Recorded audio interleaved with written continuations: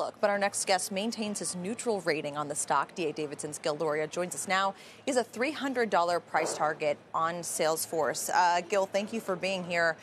So you did a deep dive into how software companies are utilizing AI for their customers. Salesforce and Palantir were the two companies that you studied here. You have neutral ratings on both of those. What did you find in your investigation and, and kind of looking into their utilization of AI, and why maintain that neutral rating given those findings?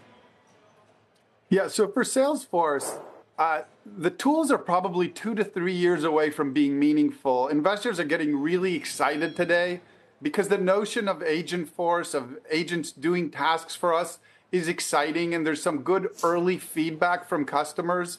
So investors were willing to look past what was a pretty bad quarter in, with that excitement going forward. Uh, revenue decelerated almost across the board for Salesforce in its data cloud, they call it integration and analytics now.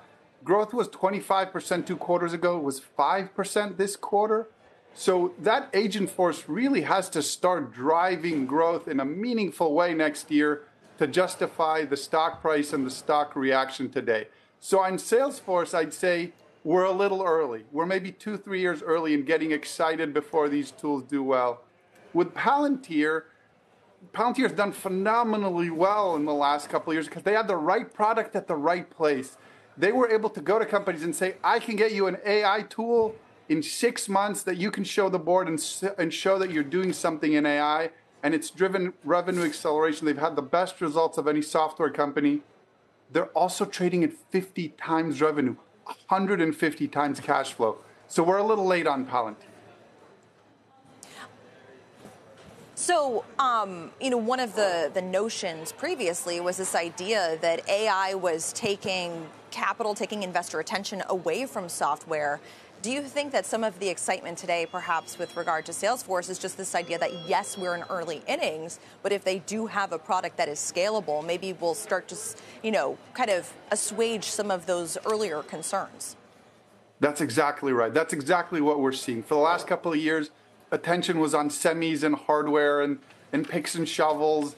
And now, uh, and that was the shiny object in the room that everybody wanted to invest in and, and buy.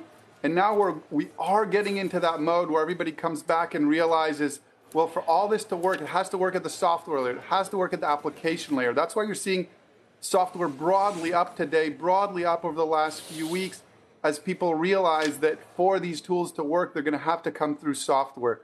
The thing is, we are still early. That's why we prefer the companies that, that give you the ability to build these tools.